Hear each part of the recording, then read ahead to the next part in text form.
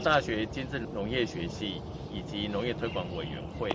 这几年都接受农委会的委托，办理农民学院的相关训练以及讲习的课程。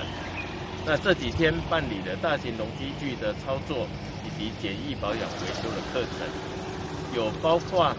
东部的宜兰、台东以及屏东、高雄，来自全省将近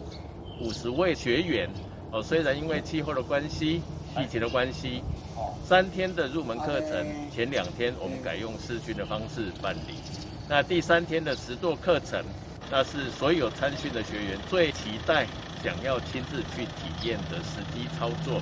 现场操作的课程。所以在第三天的部分，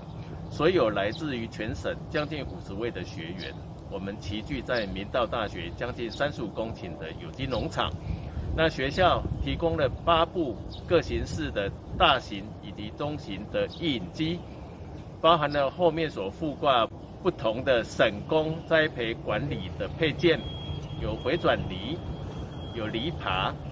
有圆耙犁，有竹田埂机，哦，以及自动撒播器等等，所有的设备以及附挂的元件，都让参与的学员。惊呼连连，他们很难得在一个场合能够亲自去试驾跟体验所有的大型农机具，以及所有的省工、省时、有效率的自动化的农机。这也是明道大学配合农委会办理这个相关课程最重要的目的。也希望透过这些课程的办理，明道大学持续的带动周遭的农友。在技术的提升，在品质的提升，以及更加降低成本、有效的运用各式的农机具的资源，